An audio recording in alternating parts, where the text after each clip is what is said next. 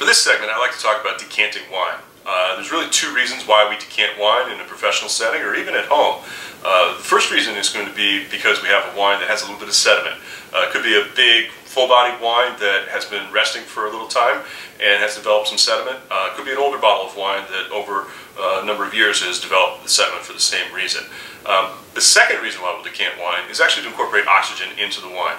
And this can actually add a lot of enjoyment and pleasure, especially in a restaurant setting where we're opening up a bottle of wine and serving it almost immediately. Getting that oxygen incorporated into the wine can really help it to really kind of take a breath and breathe. I mean, the, the, the old adage that the wine needs to breathe is, is almost true because that wine, remember, has been in a bottle for who knows how long. You know, it, it could have been just a couple of years or maybe longer if it's if it's a if it's a nice old bottle. Um, and and that wine literally needs to take in a breath, and putting it in a decanter can really help the wine do that. So uh, most of the time, though, we are going to probably be decanting for aeration to incorporate oxygen into it.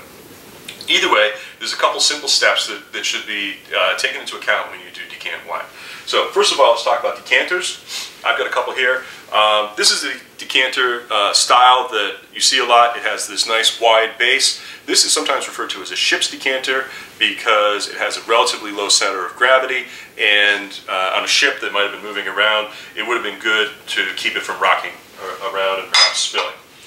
Uh, the other type of decanters, uh, for the most part, come in a shape like this, kind of like a bottle. Um, still a little bit lower center of gravity, but nice kind of efficient and, and sleek style. Uh, not very ornamental, but uh, you know, not much different than a regular bottle itself.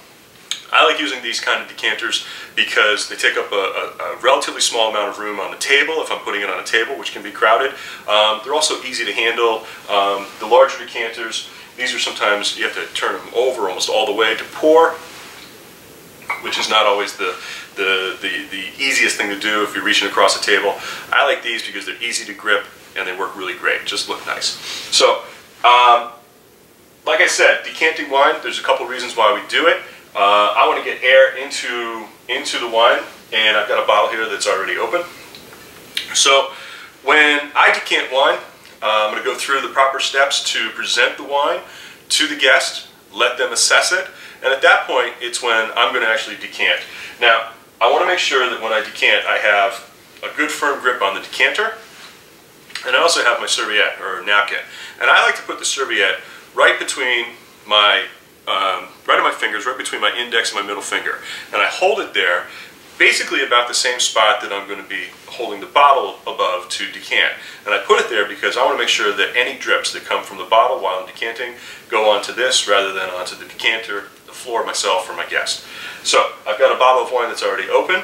I'm going to keep my hand facing away, the label with my hand facing away so that the guest can see it as I decant.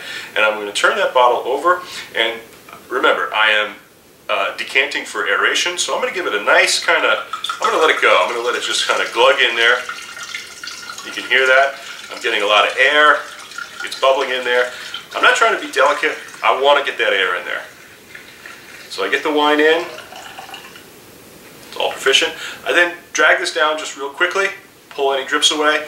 And I'm going to take this bottle and I'm going to actually set it right on the table in front of the guest who ordered it because I want him to see that. Okay? So the wine has already been confirmed that it's sound. And at this point, I'm going to go through my process of serving. Uh, I've got my serviette to catch drips, uh, just like I would if I had a bottle of wine. I'm going to go around the table, come back to the original guest who had ordered the wine, finish off their service. Assuming that I have some wine left in the decanter, I'm going to ask the guest if I can take the original bottle away because it's taking up space on the table. I'm going to replace that with the decanter with the wine in it, and that's it. Basically, I'm done. Uh, I'll come back periodically just like I would if I had a bottle of wine that was on the table to, to check and, and refill any glasses that are needed. But uh, uh, pretty simple. Uh, the decanter really should be looked at just as, a, as another bottle uh, that you're transferring the wine into to give it aeration. Now if we were going to decant for sediment, I would actually treat that bottle wine a little bit more delicately. There's even a setup where you might put a candle or use a flashlight. I used to actually carry a flashlight with me, just a small one, and uh, I would decant the bottle very carefully using that flashlight so that I could watch the sediment as it would go uh, into the, as it would stay in the bottle, but the wine would go into the decanter. Um, these days, most restaurants are using relatively young wines. Uh, wines don't have as much sediment. Uh, we're not serving older wines that have a crust on them. Uh, so we're really decanting for aeration, and that's important. I think decanting is a great added service technique. It's going to enhance your guest experience. It adds a little bit to the wow factor. So employing this technique is a, is a great way, uh, I think, to, to create an overall excellent level of service.